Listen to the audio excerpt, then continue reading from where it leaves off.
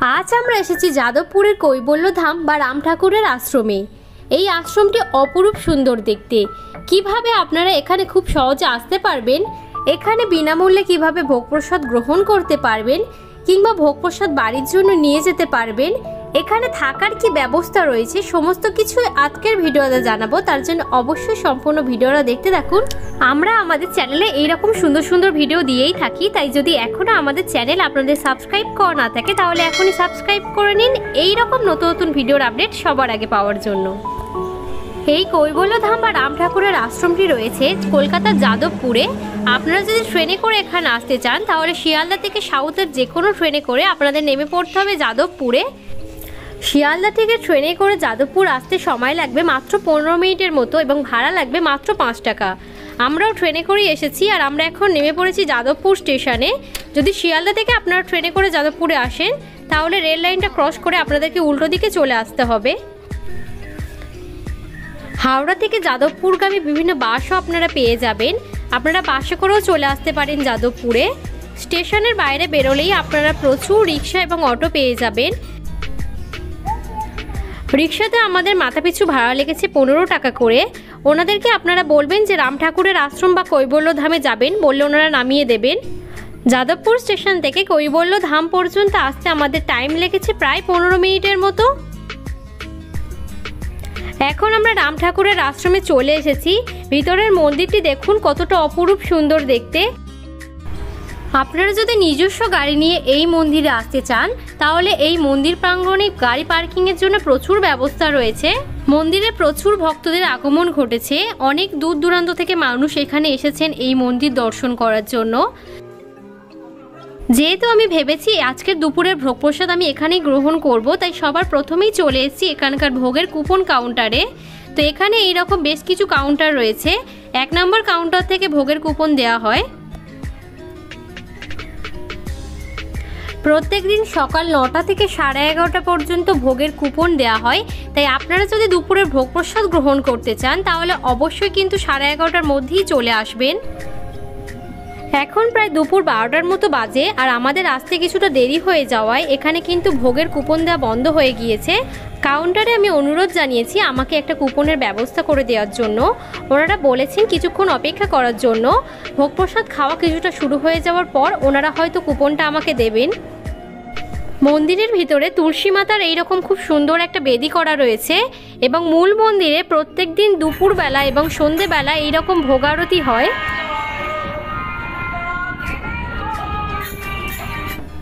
প্রত্যেক দিন এখানে বিনামূল্যে ভোগ প্রসাদও বিতরণ করা হয়। দেখতেই পাচ্ছেন, ইতিমধ্যে প্রচুর মানুষ লাইনে দাঁড়িয়ে গিয়েছেন ভোগ প্রসাদ পাওয়ার জন্য। মূল মন্দিরের বাইরে এইরকম বড় নাট মন্দির রয়েছে, সেখানে বসে সকলেই বিশ্রাম নিতে পারেন। ছোট থেকে বয়োজ্যেষ্ঠ বিভিন্ন বয়সের মানুষ কিন্তু লাইনে দাঁড়িয়ে রয়েছেন এই ভোগ প্রসাদ গ্রহণ করার জন্য। আর মন্দিরের মধ্যে প্রচুর বসার জায়গা রয়েছেন, তাই যারা বয়স্ক মানুষেরা রয়েছেন, তারা অনেকেই এই মন্দিরে বসে বিশ্রাম নিচ্ছেন। যদি আপনারা বিনামূল্যে ভোগ প্রসাদ গ্রহণ করতে চান, তাহলে মূল মন্দিরের বাইরের লাইনে দাঁড়াবেন। আর যদি আপনারা কুপন কেটে ভোগ প্রসাদ গ্রহণ করতে চান, সেক্ষেত্রে কুপন কাউন্টারের সামনেই কিন্তু লাইন দেওয়া হয়, সেই লাইনে দাঁড়াবেন।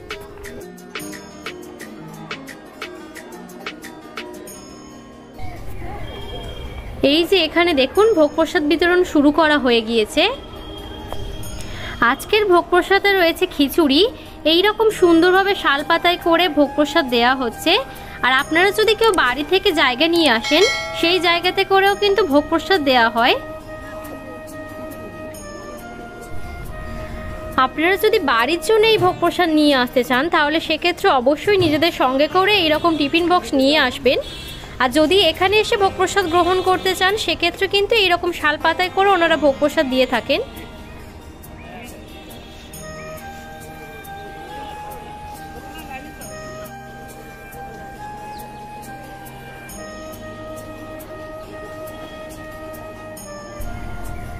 আমিও লাইনে দাঁড়িয়ে পড়লাম ভোগ প্রসাদ গ্রহণ করার জন্য। আর দেখতেই পাচ্ছেন এই রকমভাবে প্রত্যেক দিন কিন্তু কয়েকশো মানুষ এখানে ভোগ প্রসাদ গ্রহণ করে থাকেন বিনামূল্যে। ছোট থেকে বড় জাতি ধর্ম নির্বিশেষে সকল মানুষ এখানে এই রকমভাবে ভোগ প্রসাদ পেয়ে থাকেন নিত্যদিনই। ওনারা যে নিত্যদিন এই মহান কর্মকাণ্ড করছে, তা সত্যিই কুর্নিশ জানাবার মতোই।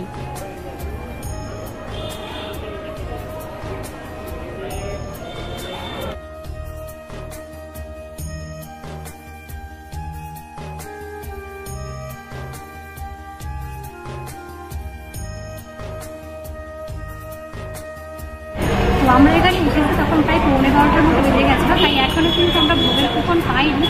তো ওনারা বলেছে কিছুক্ষণ ওয়েট করার জন্য, তারপরে হয়তো পেতে পারি।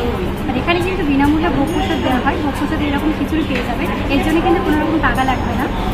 আর অবশ্যই কিন্তু ভোগের কুপন পাওয়ার জন্য কিন্তু সাড়ে এগারোটার মধ্যে কিন্তু চলে আসবে এমনিতেই যে কোনো ভোগ প্রসাদের স্বাদই অন্যরকম হয়। এখানকার খিচুড়ির স্বাদও কিন্তু অতুলনীয়, খুবই সুন্দর।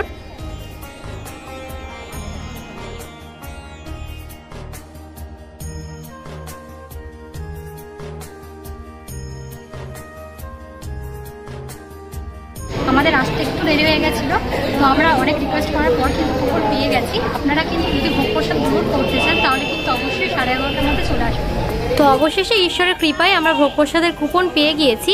এখানে ভোগ প্রসাদের কুপন মূল্য লাগে ষাট টাকা করে। আর যদি আপনারা বাড়ির জন্য পার্সেল নিয়ে যান, সেক্ষেত্রে লাগে একশো কুড়ি টাকা করে। যদি আপনারা বাড়ির জন্য ভোগ প্রসাদ নিয়ে যেতে চান, সেক্ষেত্রে অবশ্যই সঙ্গে করে জায়গা নিয়ে আসবেন। যেহেতু আমরা এখানে বসেই ভোগ প্রসাদ গ্রহণ করব, তাই আমি এখন ভোগ প্রসাদের যে লাইন রয়েছে, সেই লাইনে দাঁড়িয়ে পড়েছি।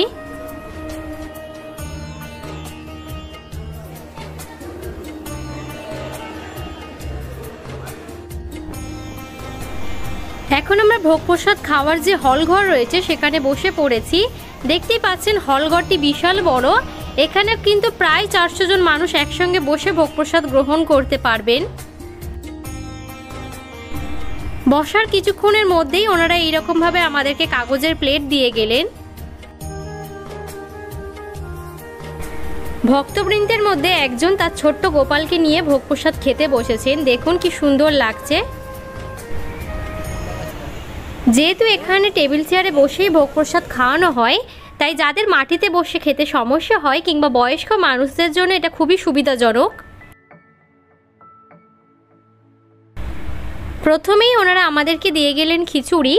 ওনাদের কাছ থেকে জানতে পারলাম, প্রত্যেক দিনই কিন্তু এখানে অন্নভোগ দেয়া হয়। কেবলমাত্র রবিবার করে দুপুরের ভোগ প্রসাদে খিচুড়ি দেয়া হয়। ওনারা খুবই পরিষ্কার, পরিচ্ছন্নভাবে খাবার পরিবেশনা করছেন। খিচুড়ির সঙ্গে এখন আমাদের দিয়ে গেলেন আলু ভাজা।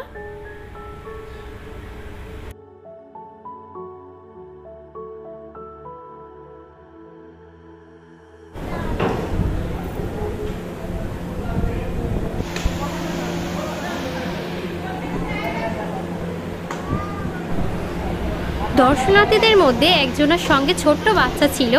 ওখানকার একজন কর্মী সেই বাচ্চাটিকে দেখাশোনা করছেন যাতে তার মায়ের খেতে কোনো রকম সমস্যা না হয়।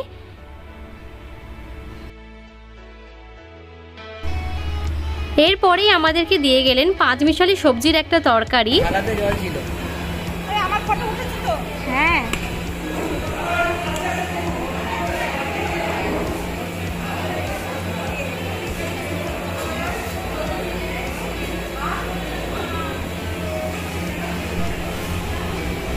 খিচুড়ি এবং তরকারি ওনারা বারবারই রিপিট করছেন এবং সব খাবারই খুব যত্ন সহকারে পরিবেশনা করছেন।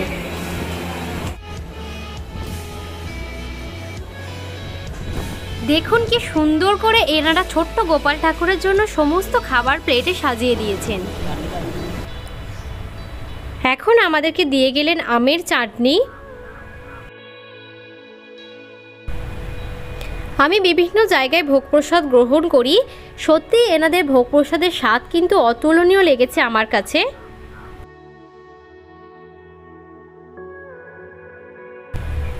সকলেই খুব তৃপ্তি করে এই ভোগ প্রসাদ গ্রহণ করছেন।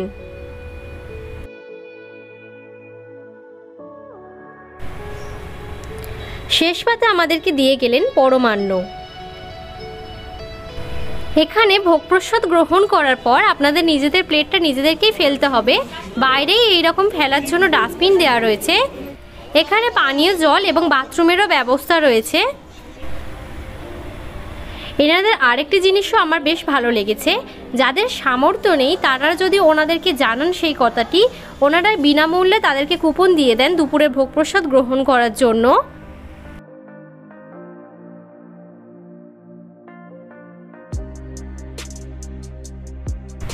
যারা দূর দূরান্ত থেকে এখানে আসবেন থাকার জন্য, তাদের থাকার জন্য এখানে প্রচুর ঘর রয়েছে। দেখতেই পাচ্ছেন, বিশাল জায়গা জুড়ে প্রচুর রুম রয়েছে। এখানে থাকার জন্য কোনো রকম টাকা দিতে লাগে না। যার যতটুকু সামর্থ্য, সে ততটুকুই অনুদান দিয়ে থাকেন। তবে অবশ্যই কিন্তু আপনাদেরকে কোনো রাম ঠাকুরের আশ্রম থেকে লিখিতভাবে থাকার জন্য লিখে নিয়ে আসতে হবে।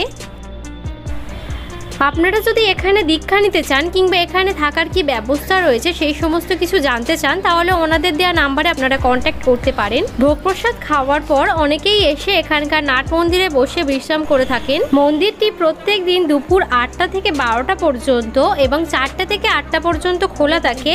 এবং ভোগ প্রসাদ গ্রহণ করতে চাইলে অবশ্যই কিন্তু দুপুর সাড়ে এগারোটার মধ্যে চলে আসবেন। তো আমাদের ভোগ প্রসাদ গ্রহণ করা হয়ে গেছে। আপনারা অনেকেই জানতে চান যে কোথায় বিনামূল্যে ভোগ প্রসাদ পাওয়া যাবে। তো আপনারা কিন্তু একদিনের জন্য এসে এই জায়গাটি থেকে ঘুরে যেতেই পারেন। আশা করি আপনাদের নিশ্চয়ই ভালো লাগবে। আর এই ভিডিওটি যদি ভালো লেগে থাকে, তাহলে অবশ্যই লাইক করবেন আর সকলের সাথে শেয়ার করবেন।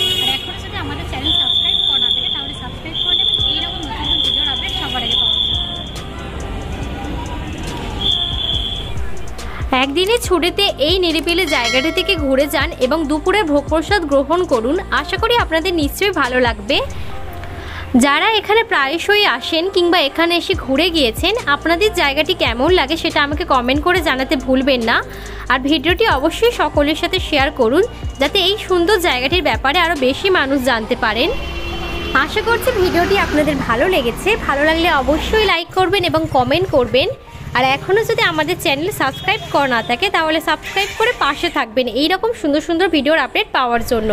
যারা আমাদের চ্যানেলটা ইতিমধ্যেই সাবস্ক্রাইব করে রেখেছেন, তাদেরকে অসংখ্য ধন্যবাদ এই রকমভাবে আমাদেরকে সাপোর্ট এবং ভালোবাসা দেওয়ার জন্য।